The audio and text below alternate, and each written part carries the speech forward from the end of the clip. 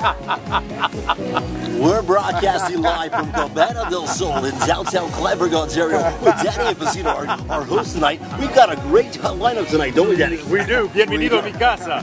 That was Spanish for thank you for coming to my house. leave, leave, your jewelry at the front door in Spanish. Thank you, Danny, for coming, for allowing us, all your friends, bartender, and the werewolves and of London. everybody here tonight in beautiful Cabana del Sol in beautiful downtown Kleinburg, where Danny, um, again, now on a serious note, thanks for having us. My pleasure. Uh, the food has been outstanding.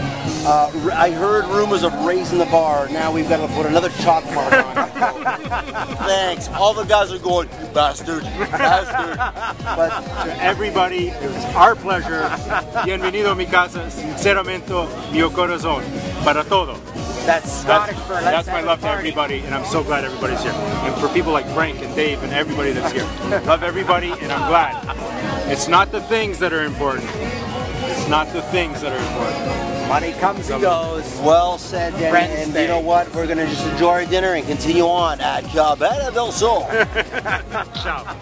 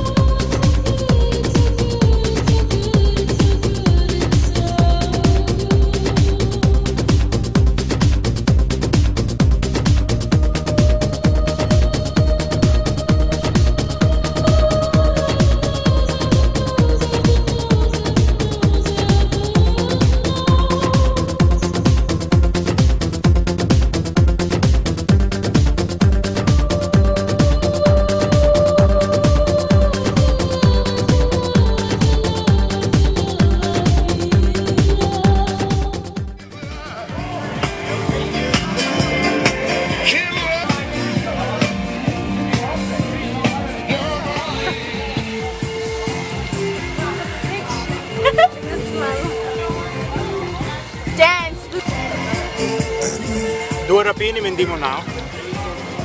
We have some bello uh, pollo. So take us through this uh, culinary adventure, uh, Danny Infusino from Cabana del Sol. Cabana del Sol direttamente.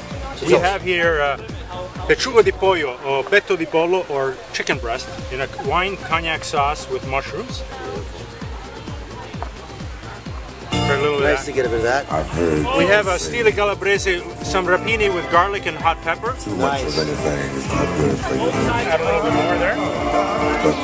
Patate della nonno al forno, patate al forno here with You rosemary. had, you had a nice uh, chef prepare this for you tonight. We were fortunate enough to have a great chef prepare this for tonight because we have special friends, so we have to have a special preparation, right? Doesn't seem to me Then further down here, we have some hot banana peppers, which are something that go hand in hand with this wonderful porchetta that uh, our wonderful friend Frank Mazzuca carved up for us. Actually, he did it out of pulled pork style and made sure that we had that beautiful skin. You can look here, each individual panino has that skin on there for that ultimate flavor when you have one of these. And that's our plate tonight with our friends to enjoy. Beautiful. And God bless us all.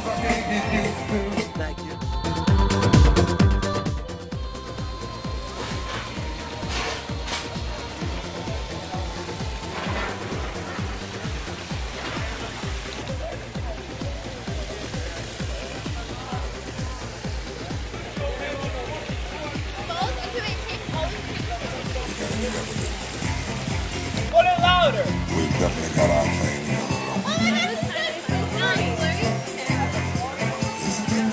Just sit and think about it. Listen to it. Really, really nice. I've been waiting for this moment all my life.